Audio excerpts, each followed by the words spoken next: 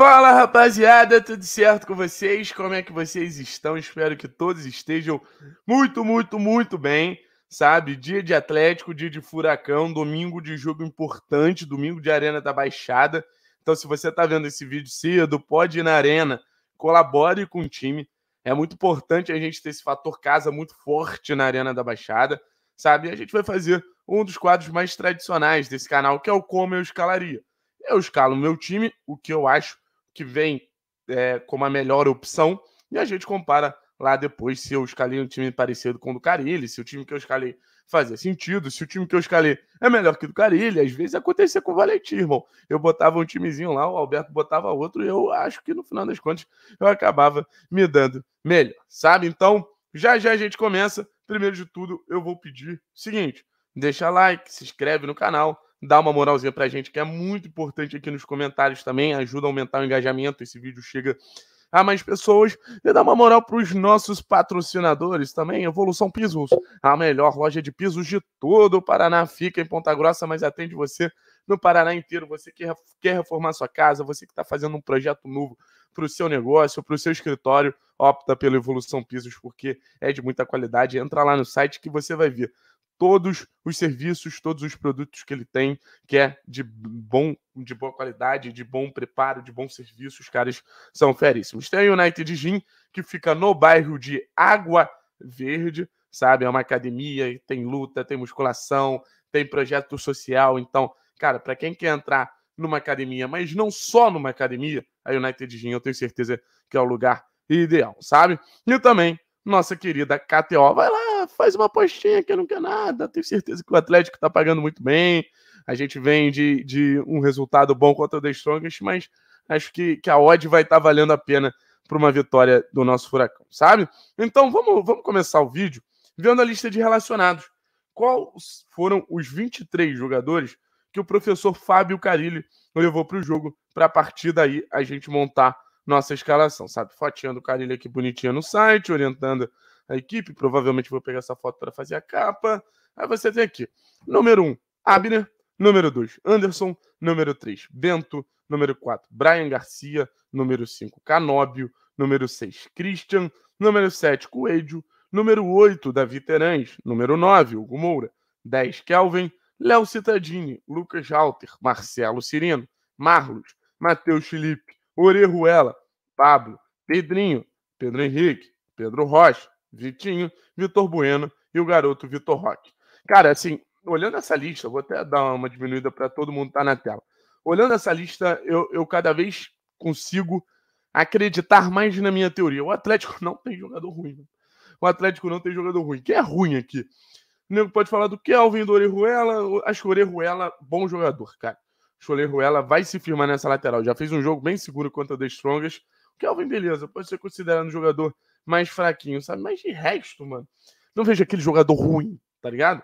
Podem ter jogadores que não estão na melhor fase possível, mas aquele jogador ruim que, porra, o torcedor do Atlético sabe de que eu tô falando, mano. Aquele jogador que, porra, a fase ruim do Carlos Eduardo, tá ligado? Aquele jogador que não ajuda em nada, só atrapalha.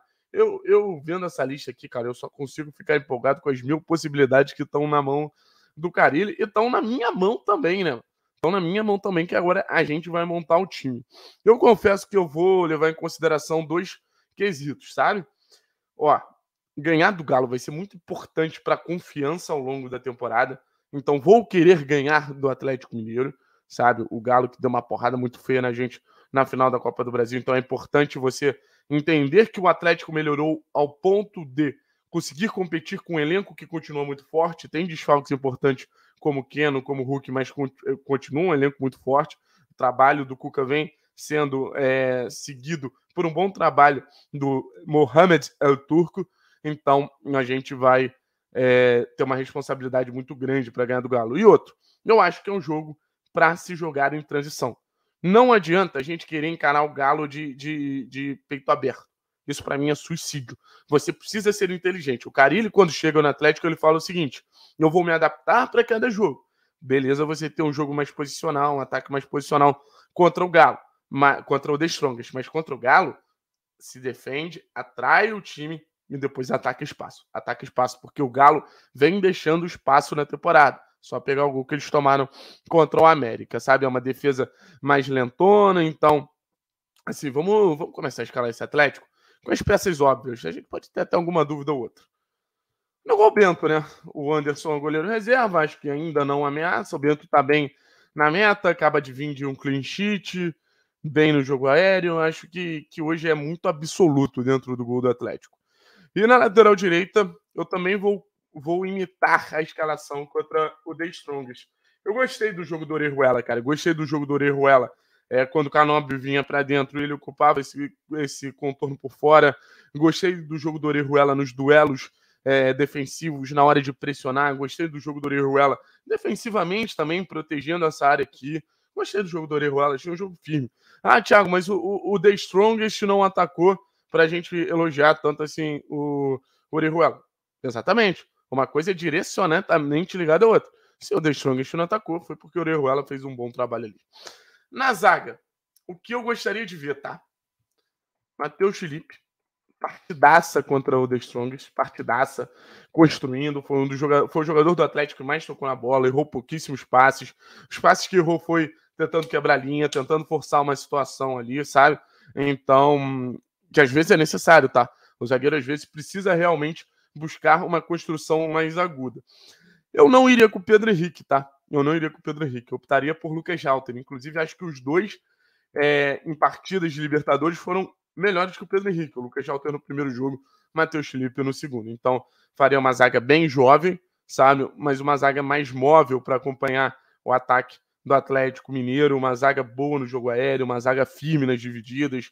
Uma zaga que eu acho que tem menos risco de oscilar do que o próprio Pedro Henrique. Porque eu, eu tenho medo muito grande do que o Pedro Henrique pode aprontar ao longo do jogo. Aí a gente vai para a lateral esquerda, sabe? Botar o Abilin. Vem de um jogaço contra o The Strongest também. Jogo muito bom, muito consistente. Não se contentou só em ficar nessa área defensiva, veio para dentro, sabe? Começou construído aqui para fazer a dupla com ponta em questão. Se fosse Coelho, se fosse Vitinho.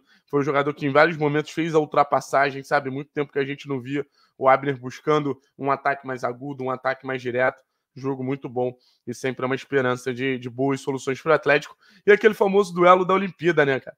Aquele famoso duelo da Olimpíada, Abner versus Guilherme Arana. Eu, eu confesso que eu sou clubista. Se tiver algum torcedor do Atlético Mineiro que vai entrar nesse vídeo aí, eu já aviso logo. Sou muito mais o meu Bininho, irmão. Sou muito mais o meu Bininho. Agora a gente vai falar da dupla de volantes. Tenho certeza que, que a maioria vai querer ver a mesma dupla de volantes do jogo contra o The Strongest. E eu também. E eu também. Mas eu vou te falar que Léo Citadini é um cara que ameaça essa dupla, tá?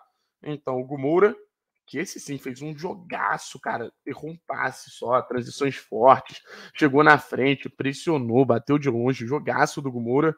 E eu vou deixar o Brian, mano. É, vai ser legal ver um garoto de só 21 anos num jogo grande.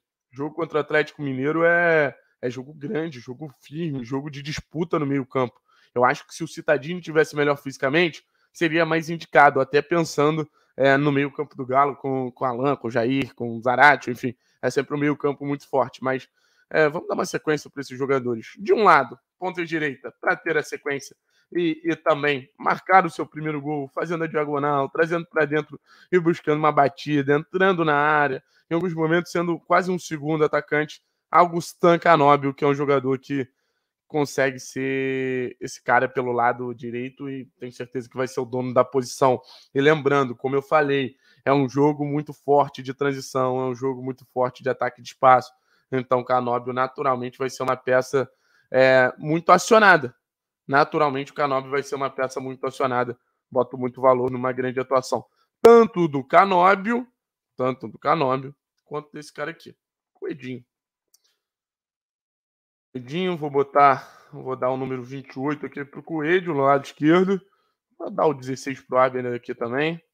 Sabe? Gostei das interações Abner e Coelho, mais ou menos assim. O Abner um pouquinho mais para dentro, o Coelho mais para fora.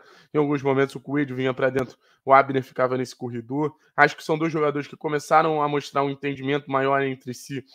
Já contra o São Paulo, em poucos momentos ali que o time ainda se mostrava vivo. É, contra o Caracas foi pouco, mas contra o The Strongest foi bem interessante.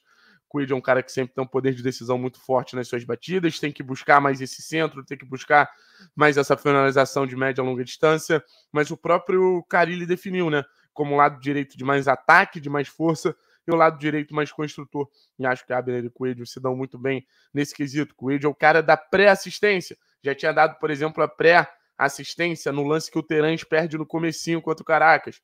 Coelho enfia a bola, Pablo só dá um desvio e o Terãs perde o gol. Contra o The Strongest foi o contrário.